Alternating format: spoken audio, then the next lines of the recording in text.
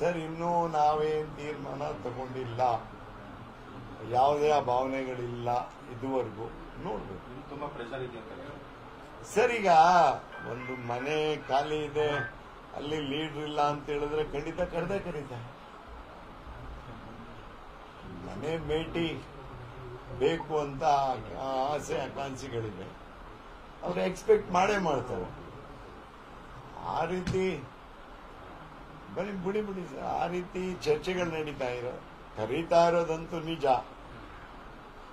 ಆದರೆ ನಾವಿನ್ನು ತೀರ್ಮಾನ ತಗೊಂಡಿಲ್ಲ. ನಮ್ಮ ಲೀಡರ್ಗಳು, ಮುಖಂಡರುಗಳು, ಅವರೆಲ್ಲರ ಎದುರುಗಡೆ ಚರ್ಚೆಯನ್ನು ಮಾಡಿ ಯಾಕೆಂದ್ರೆ ನನಗೆ ಮೂರು ಸಾರಿ ಗೆಲ್ಸ್ಕೊಟ್ಟಿದ್ದಾರೆ ಅಂದ್ರೆ ತಾಲೂಕಿನ ಮತದಾರ ದೇವತೆಗಳು, ನಮ್ಮ ಮುಖಂಡರುಗಳು, ನಮ್ಮ ಹಿರಿಯರು, ಅವರೆಲ್ಲರ ಹತ್ರ ನಾನು ಚರ್ಚೆ ಮಾಡಬೇಕಾಗ್ತದೆ. ಇನ್ನೂವರೆಗೂ ಮಾಡಿಲ್ಲ.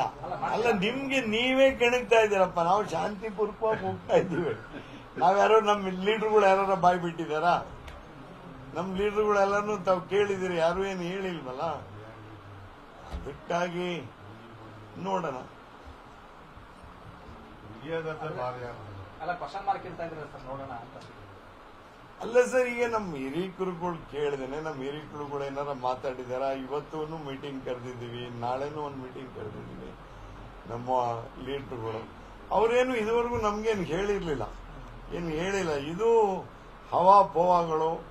ನೀವು ಹುಟ್ಟಾಗ್ತಾ ಇದ್ದೀರೋ, ಇಲ್ಲ ಜನ ಹುಟ್ಟಾಗ್ತಾ ಇದ್ದಾರೋ ಅದು ನನ್ಗಿನ್ನೂ ಅರ್ಥ ಆಗಿಲ್ಲ.